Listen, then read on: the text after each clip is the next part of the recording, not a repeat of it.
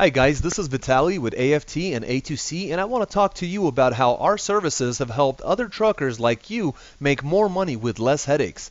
We've been dispatching carriers since 2011 and over the years we've been able to narrow down the main problems and areas of concern for most truckers out there.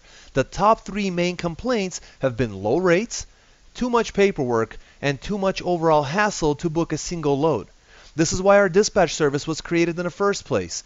Our dispatchers understand freight market dynamics, seasonality, commodity types, and how to negotiate rates to get you the most money possible from the market. Our admin staff handles all the paperwork, while our accounting handles billing and invoicing. All you will have to do is deliver the loads and send clean pictures of BOLs.